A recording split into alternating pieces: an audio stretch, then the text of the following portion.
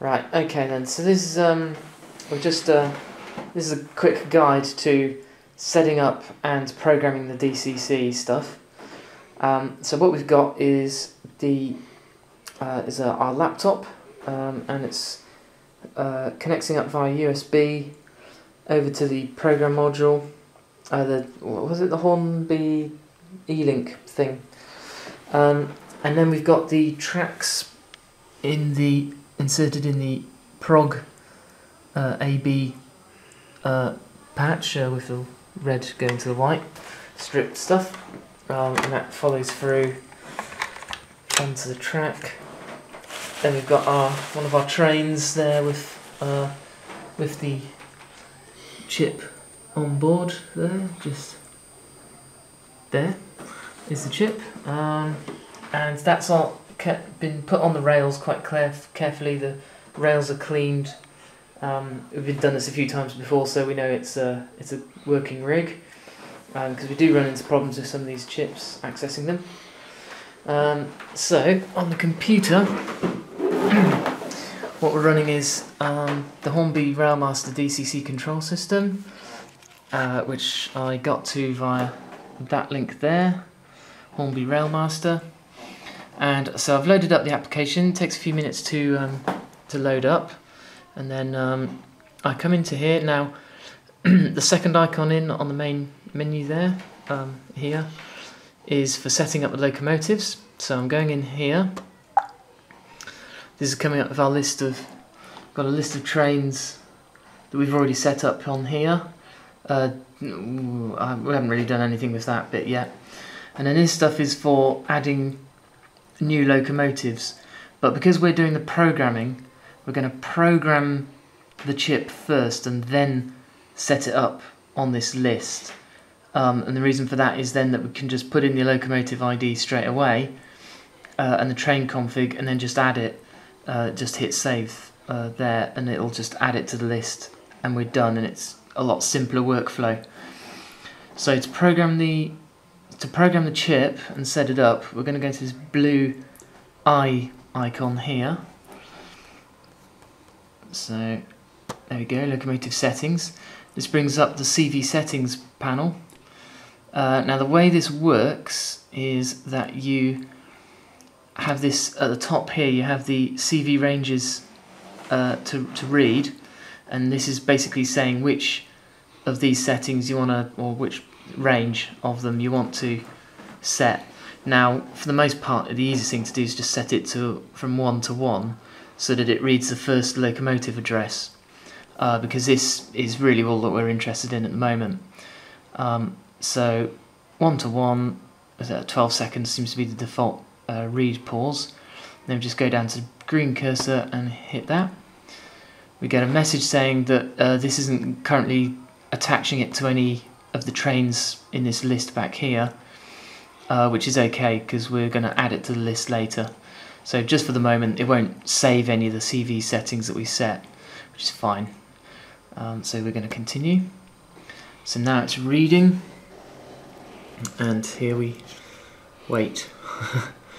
um, so of course this can come up with error sometimes, and if it does, then maybe the, the rig is not set right, or maybe the chip is plain bust.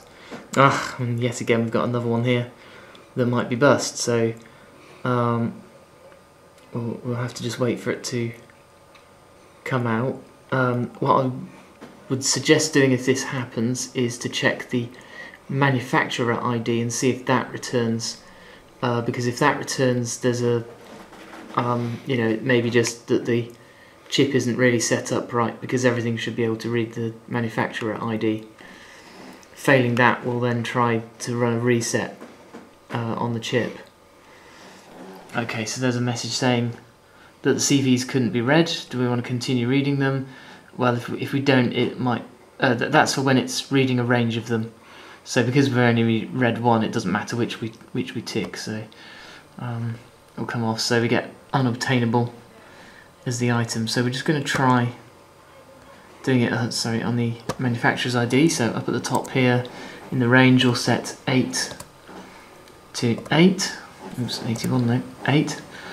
And then um, save that. oh sorry, retrieve them. Yes, we want to continue.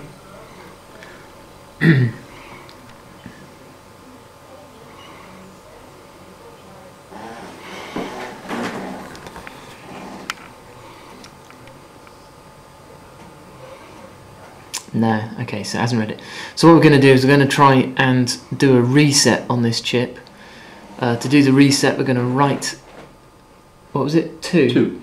Two, because this is an this is an OPR1 chip. Um, so different chips do have different resets, but it usually involves writing some code to the manufacturer ID. So we'll see if we, uh, come on.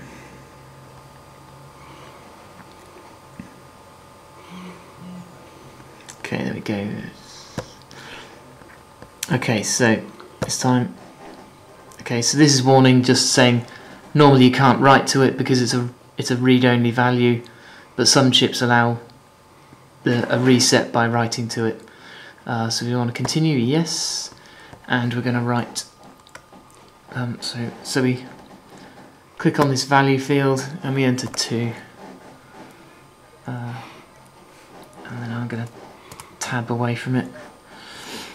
Okay, and then down in the bottom left corner, down here, is where you write to the chip.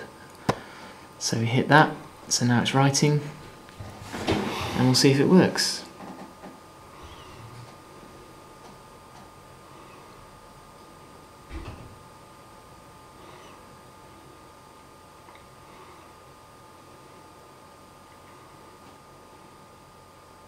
Uh, so confirming means that it's reading it back in. So the write has most likely worked. Um, now there's a chance that this can fail to confirm, but it will still have actually done the reset.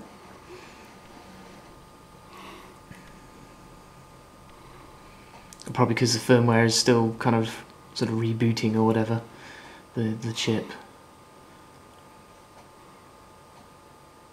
Takes a really, really long time. Ah, there we go. So it's failed.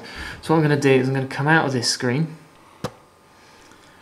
Okay. Um, can you take the actual train off and put it back on again? Because I think that might. That you want to change the chip? It, no, no, not change the chip, but just take it off the thing. Just because I think it might be that taking it off the power might kind of it reset back? it a little bit. Yeah, yeah. Because we did. This is what we did last time and it seemed to then start getting a response.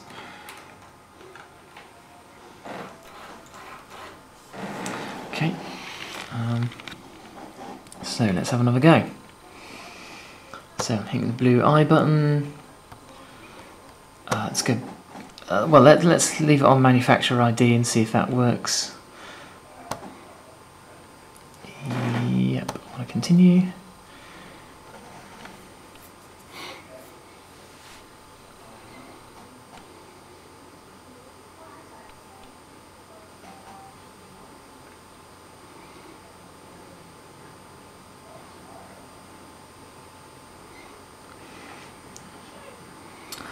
No, this is not looking good. to try a different chip. Yeah, I think we'll try, we'll try a different chip.